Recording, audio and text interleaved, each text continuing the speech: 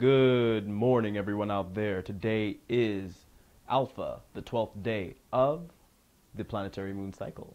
And that means that our galactic signature is kin number 67, which is the blue lunar hand. And that means that our affirmation goes as follows I polarize in order to know, stabilizing healing. I seal the store of accomplishment with lunar tone of challenge.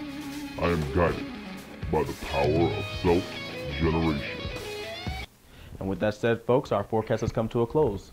Tune in tomorrow for tomorrow's forecast, of course. My name is Mr. Madu, your reader of Lost Arks, and if you haven't yet, please like, share, and subscribe anywhere you see this handsome face here.